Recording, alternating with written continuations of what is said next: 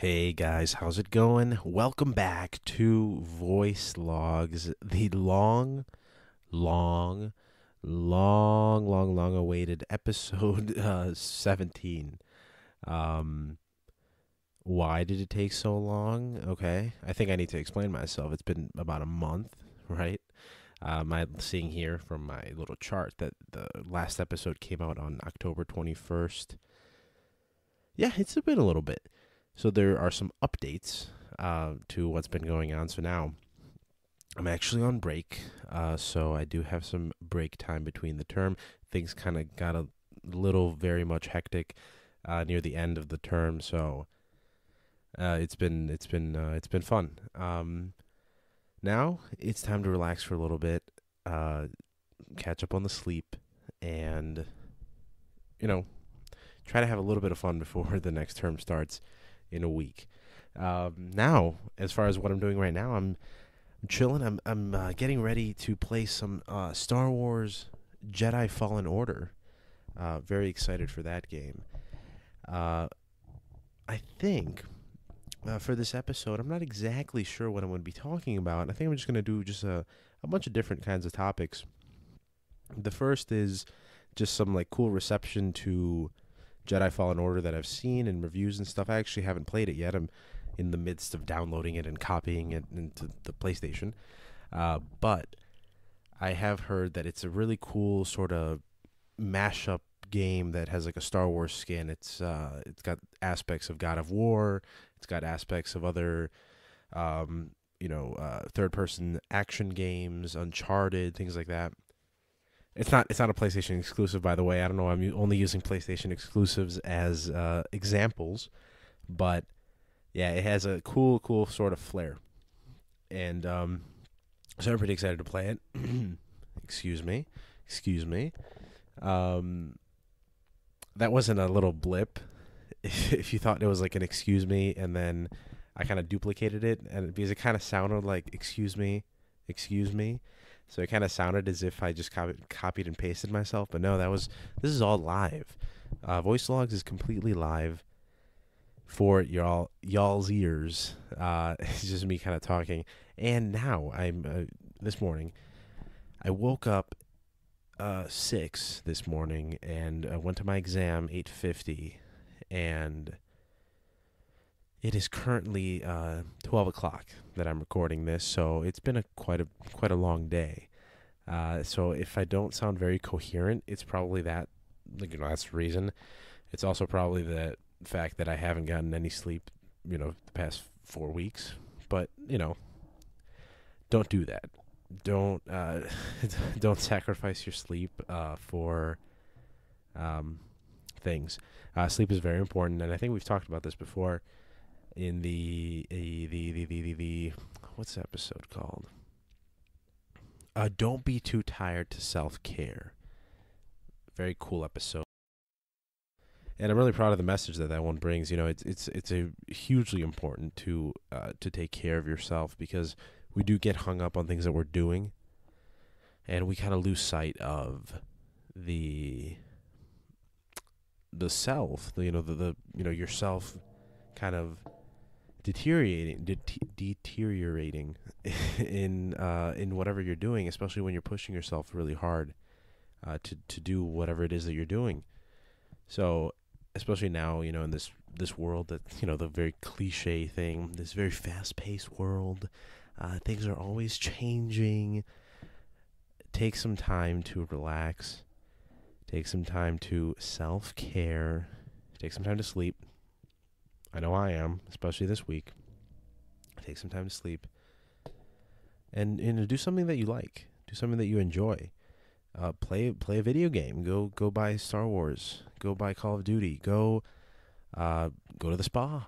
Go uh, take a nap. Go watch Disney Plus because that's a new streaming service that has hit the interwebs.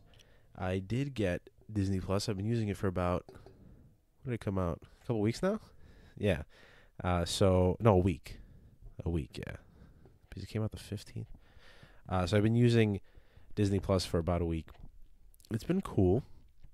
It is Disney Plus. I mean, the name does fit. It has all the Disney movies that you would expect. It some of them like um, uh, Coco, uh, like some Marvel movies are still on Netflix. So um, you kind of waiting. You don't have everything, but you have ninety nine percent of them.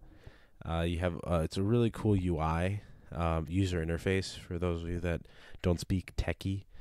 Um, it's got all the different uh, pillars, I guess you could say, of Disney. The different companies. You've got Disney, you've got Pixar, you've got Marvel and Star Wars and National Geographic, and uh, the you've, you've got you can click into those and go to specific shows. You have a bunch of drop down lists.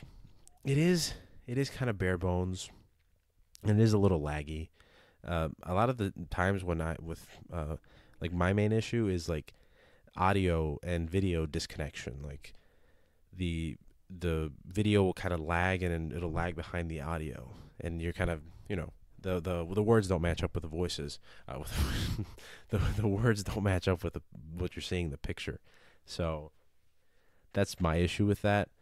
Um, I, have heard a lot of people. Um, we have been too when we're watching, uh, complaining about the continue watching section because it kind of it's not like Netflix where you have everything like continue watching, you know, for you and stuff like that.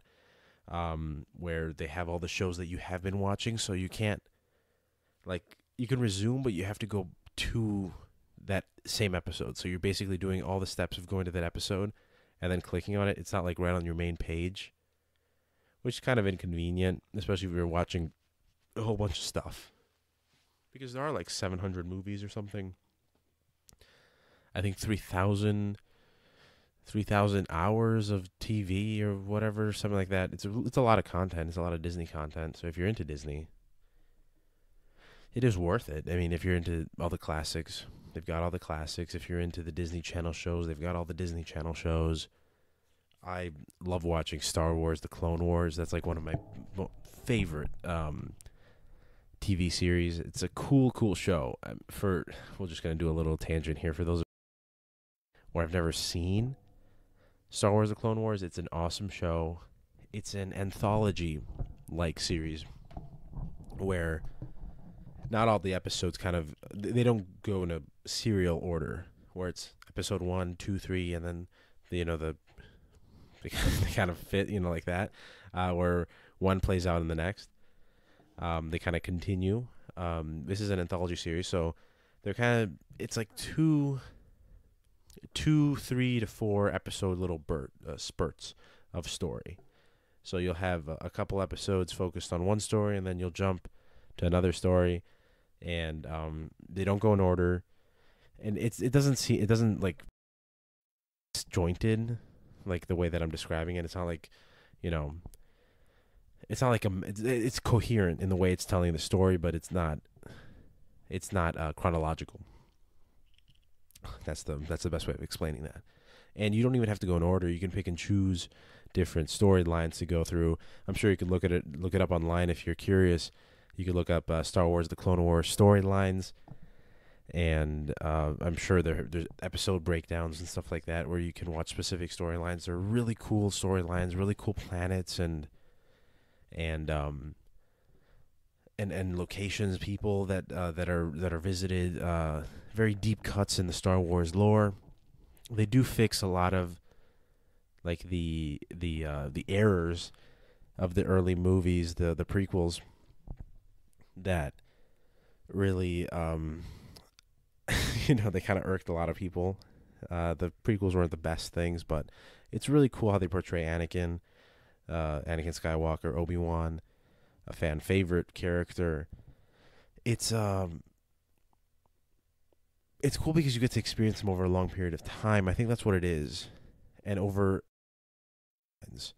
I think in the movie in this one sort of. I mean, it's it's a trilogy, so you're seeing them in three different kind of stories. Here, you're seeing really cool stories like uh, with the Mandalore, um, the planet of Mandalore, and things like that. Um, which is also big. The Mandalorian, which is also a cool show on Dis- uh, Disney Plus. Um, yeah, it's like, it's cool. It's cool. It's a it's a cool show that brings more life to characters that may have not gotten the best treatment in the movies. So I would definitely recommend it. Star Wars: The Clone Wars. Uh, but you know, bringing it up now, the main reason I think why I got Disney Plus, my sister is a huge fan of Disney, so we probably would have gotten anyway just for her. But Disney Plus for me, the main thing is, of course, having that Star Wars: The Clone Wars back, but also um, The Mandalorian, which is a really good. It's a good show. It's a really cool and I think it's really well told because it's a, it's a it's a sh- uh, slow slow burn kind of show, and the same person uh, Dave Filoni. Um, I think it's Dave Filoni producing it or some sort of creative position, and then Jon Favreau's producing it.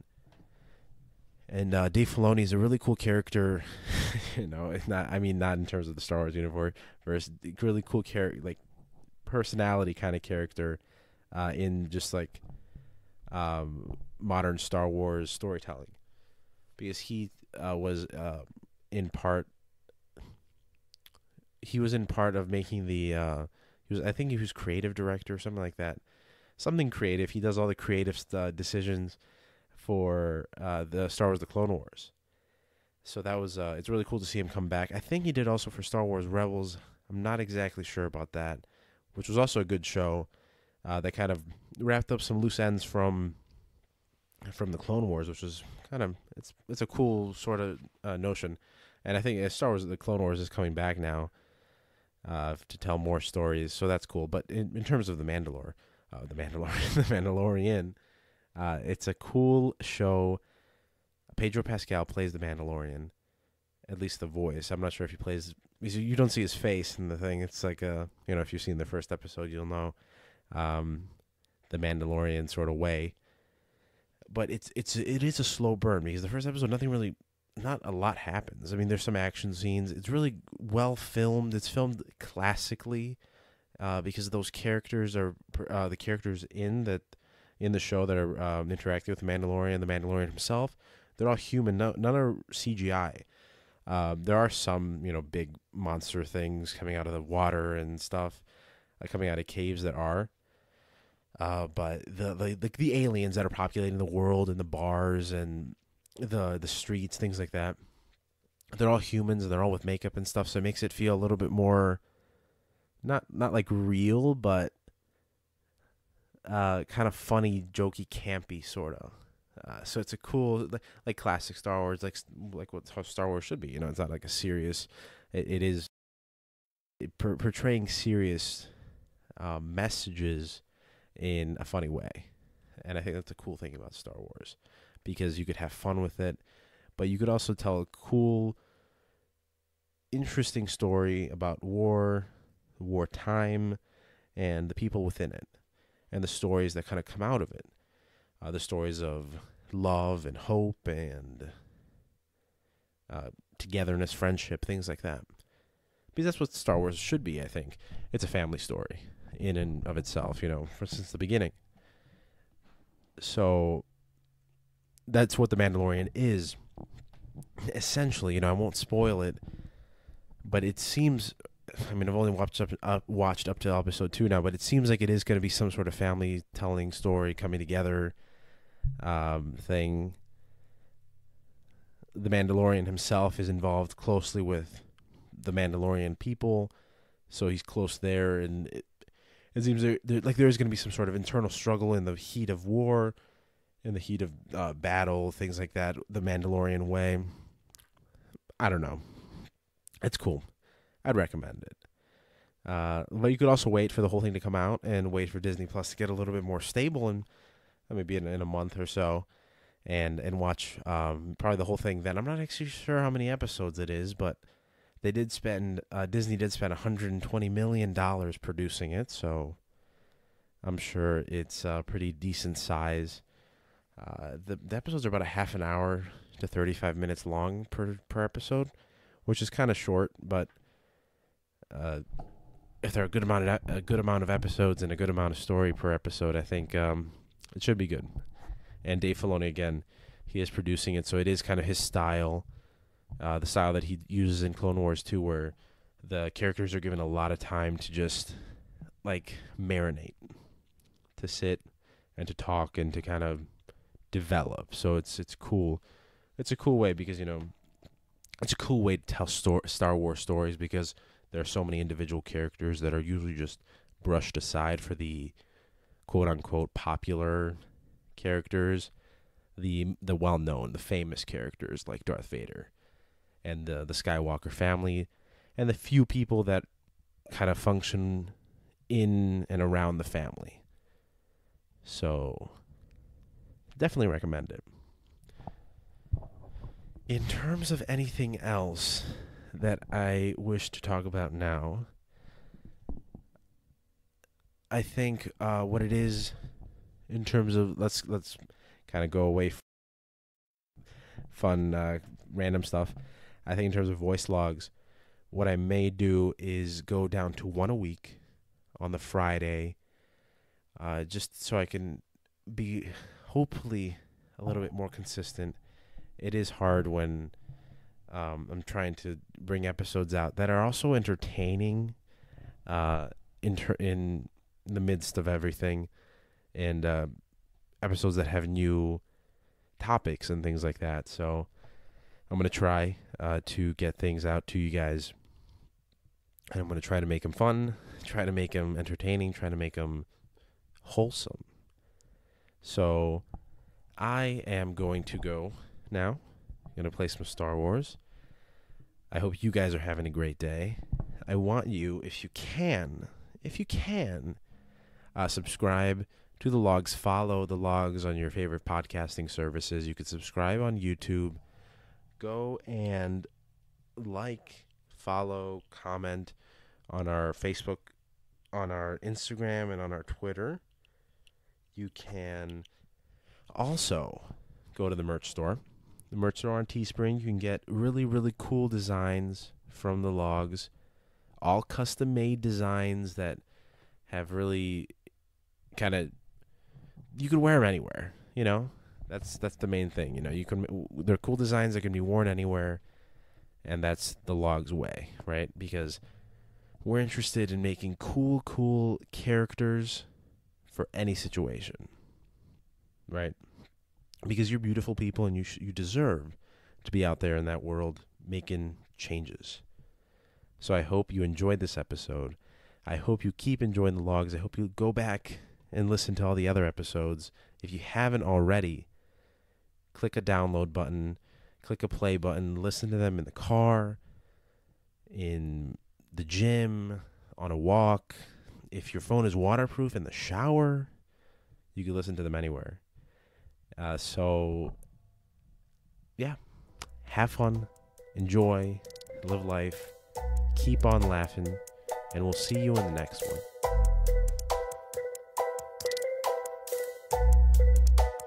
Mm.